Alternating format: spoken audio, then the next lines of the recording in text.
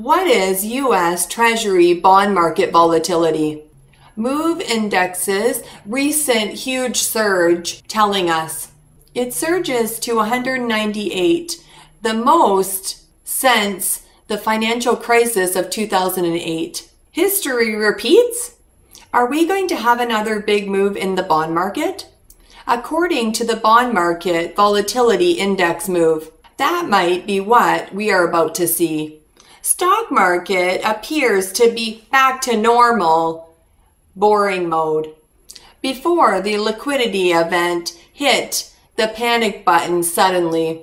Today we dive into the story of what the bond volatility is trying to tell us and why no one is talking about it. Where's the market actually going?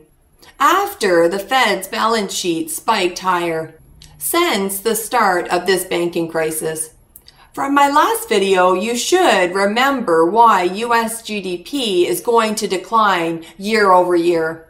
Here is the data from Bloomberg to back up my claim. But it's also showing S&P 500 quarterly earnings will go up at the same time. Which one should you believe? I will explain it all right after this.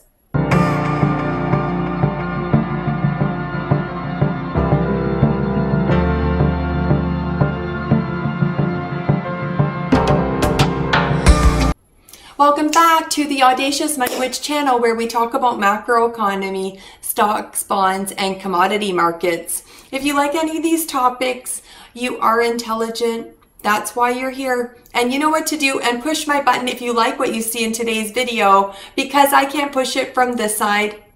The like button. This video is brought to you by my Patreon. If you're a good boy, go to patreon.com slash magical goddess Cheryl to add more meaning into your life. If you play your cards right and completely submit like my good boys do, then I will take you under my wing. Author of best-selling books, Goddess Cheryl. My good boys always get rewarded handsomely. You are such a good boy. You like hearing that, don't you? Hmm. You want to get into the bookstore. You want it to be real. You want it to be true. You want to be my client, don't you? Here is my book, Rainbow Focus. It is available in the bookstore. Such an amazing read. This is my book, Born to Shine. Order your copy today. And here is my client Teddy Eazzy's book, Wicked Pussy Perfume. It is a femdom novel and it's about money, the stock market, and stockings. Such an amazing author with such incredible content. Order your copy today. This is my client's collaboration book, Adversity Equals Success. Such an amazing book with such incredible authors. Order your copy today. Schwab's $7 trillion empire built on low rates is cracking under the radar. Just like financial crisis in 2008.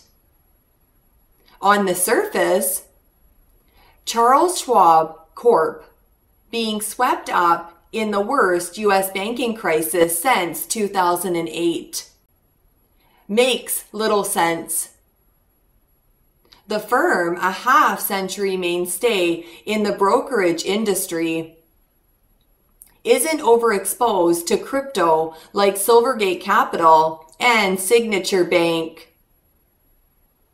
nor to startups and venture capital, which felled Silicon Valley Bank. Fewer than 20% of Schwab's depositors exceed the FDIC's $250,000 insurance cap compared with about 90% at Silicon Valley Bank. And with 34 million accounts, a phalanx of financial advisors, and more than $7 trillion of assets across all of its businesses. It towers over regional institutions. Yes, the questions around Schwab won't go away. Rather, as the crisis drags on, investors are starting to unearth risks that have been hiding in plain sight. Unrealized losses on the Westlake. Texas based firm's balance sheet loaded with long dated bonds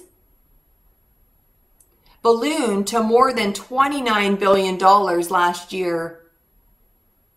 At the same time, higher interest rates are encouraging customers to move their cash out of certain accounts that underpin Schwab's business and bolster its bottom line. It's another indication that the Federal Reserve's rapid policy tightening caught the financial world flat footed after decades of declining rates. Schwab's shares have lost more than a quarter of their value since March 8th. With some Wall Street analysts expecting earnings to suffer. CEO Walt Bettinger and the brokerage's founder and namesake, billionaire Charles Schwab, have said the firm is healthy and prepared to withstand the broader turmoil. Really? The business is misunderstood and it's misleading to focus on paper losses, which the company may never have to incur, they said last week in a statement. There would be a sufficient amount of liquidity right there to cover if 100% of our bank's deposits ran off. Bettinger told the Wall Street Journal in an interview published Thursday adding that the firm could borrow from the Federal Home Loan Bank and issue certificates of deposit to address any funding shortfall. Though a representative, Bettinger, declined to comment for this story, a Schwab spokesperson declined to comment beyond the Thursday statement. The broader crisis showed signs of easing on Monday after First Citizens BancShares Incorporated agreed to buy Silicon Valley Bank. Boeing shares of financial firms included Schwab. The stock is still down 42% from its peak in February 2022. Schwab is unusual among peers.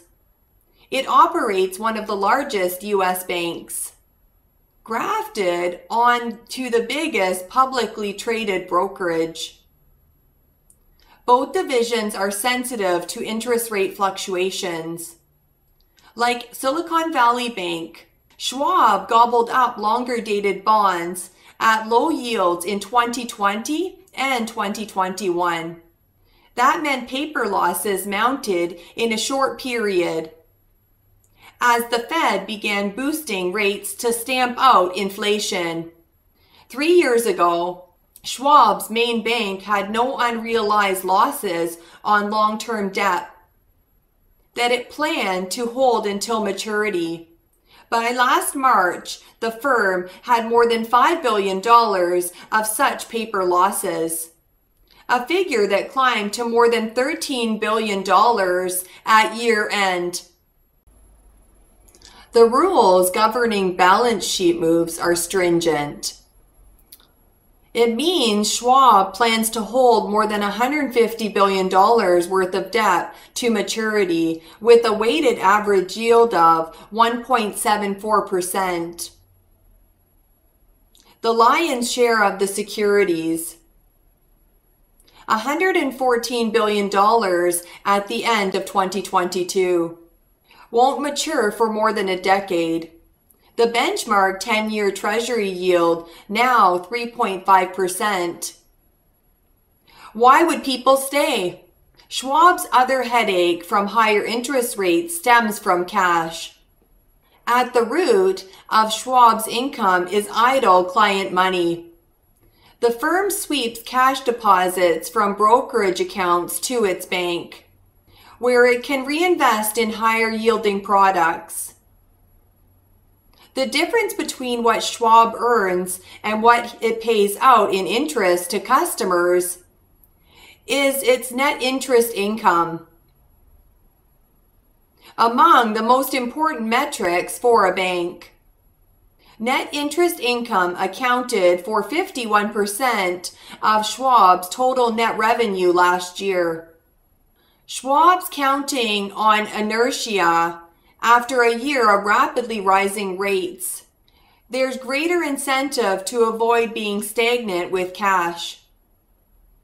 While many money market funds are paying more than 4% interest, Schwab sweep accounts offer just 0.45%. Though it's an open question just how much money customers could move away from its sweep vehicles. Schwab's management acknowledged this behavior picked up last year. As a result of rapidly increasing short-term interest rates in 2022, the company saw an increase in the pace at which clients moved certain cash balances into higher yielding alternatives. As these outflows have continued, they have outpaced excess cash on hand and cash generated by maturities and paydowns on our investment portfolios. In their statement, Bettinger and Schwab wrote that client deposits may move, but they are not leaving the firm. That sounds like they are trying to lie to themselves or to their shareholders. Who would want less and more risky returns? Analysts have been weighing these factors, lowering their price targets for Schwab shares in recent weeks. Just like Silicon Valley Bank, most banks were taking client cash and using it to buy long bonds. Now they are sitting on huge losses and facing massive outflow to money market funds.